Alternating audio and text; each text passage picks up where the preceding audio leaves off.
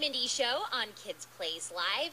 And Tori, we were just talking off the air about how something that we have noticed personally is that during this time of COVID 19 and all of the lockdown restrictions and the stay at home orders, where people have not been able to get together with friends and family and even strangers, that whenever you have any sort of visual contact with someone, people seem to be a little bit kinder these days. So you've been noticing this in your neighborhood. Tell me how.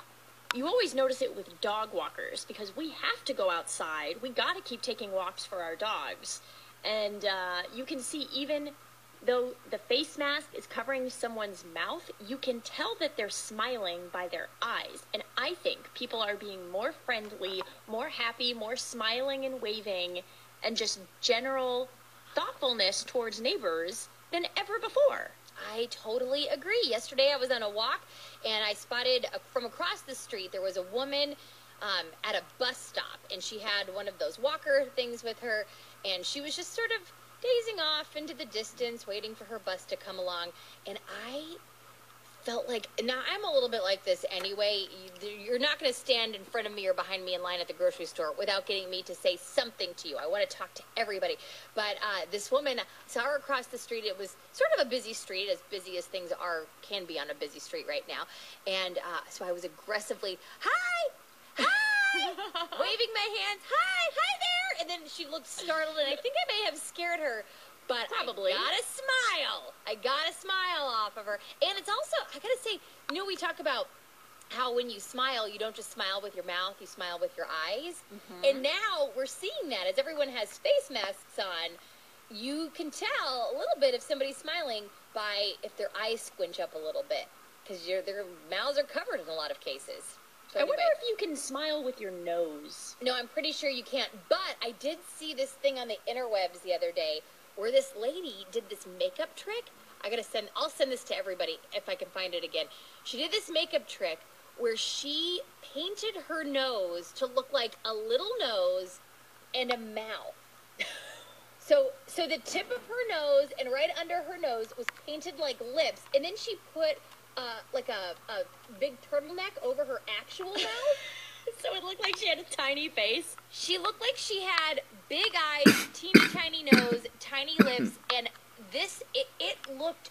I'd never seen anything like this before, and she was able to smile with her nose. Her nostrils were a part of the mouth. I'll send this to you. It was so good.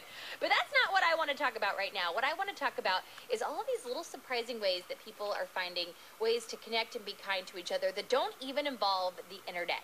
And I'm talking about a story out of Manhattan, New York, to be specific, where there's a college student named Lillian Kogan, and she is at home She's under stay-at-home orders. New York City is not the easiest place to get around and get outside right now with, you know, not be around too many people. So people are really staying in their homes and apartments. And she looked across her out the window and she could see another apartment. Uh, when she looked out her window, and there was another window, and she didn't know the people who lived there, but she was determined to connect with them anyway. So she posted a little post it note in the window that just said, Hi. And then later on, another uh, paper came in the window. And, the, and she wasn't standing with it, she just stuck it on the window. And then later on, she walked past the window and saw that the people in that apartment had left a piece of construction paper on the window that said, Hi back. And then she wrote another note saying, How are you doing? And they said, Fine, how are you doing? And these are all through paper, little notes left on the window. And, uh, and then one day she realized that the, the person who lived in that house was sunbathing on her little balcony, and she realized it was an elderly woman. So she went back and she said, um, "Do you can you do you need any food? Do you have enough food to eat?" And the woman wrote back on a piece of paper, yes. And keep in mind, she's only seeing the paper. She's not seeing the woman except for seeing her bath- sunbathing that one time. And, um, and it turns out the woman who lived in the other apartment, she's 84 years old. Her name is Tony Sonnet. And uh, they have become little apartment pen pals. So, all because of the power of a post it note and some pieces of construction paper, they're writing little notes back and forth to each other, apartment to apartment And according to Tony Sonnet, the 84 year old, she says, it's been a sweet source of entertainment and friendship. Isn't that sweet?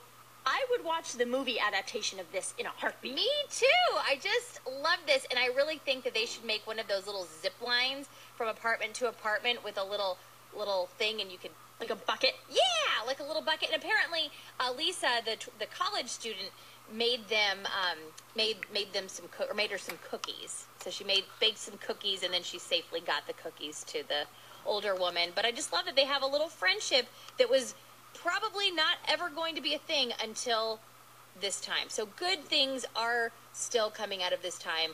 Uh, amidst all the, the sadness that is also coming out.